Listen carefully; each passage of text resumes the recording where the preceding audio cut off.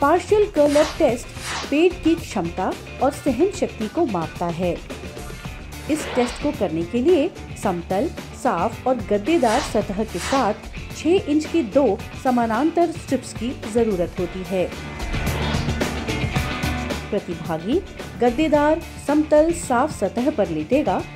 उसके घुटने 60 डिग्री के कोण पर, दोनों बाजू बगल में और हथेलियाँ नीचे की ओर होनी चाहिए। प्रतिभागी अपने ऊपर के शरीर को मैदान से कम से कम 6 इंच ऊपर उठाकर, जिसे कर्ल अप्स कहा जाता है, लाएगा उस दौरान उसके हाथ ज़मीन पर ही रहेंगे और फिर वो अपनी मूल अवस्था में वापस आ जाएगा जैसे ही प्रतिभागी टेस्ट लेने के लिए तैयार हो जाए स्टार्ट टाइमर बटन दबाएँ। प्रतिभागी को सुझाव दिया जाता है कि टेस्ट के दौरान सांस लेने की गति सामान्य रहे। 30 सेकंड में किए गए अधिकतम कर्लअप्स की संख्या को रिकॉर्ड किया जाता है।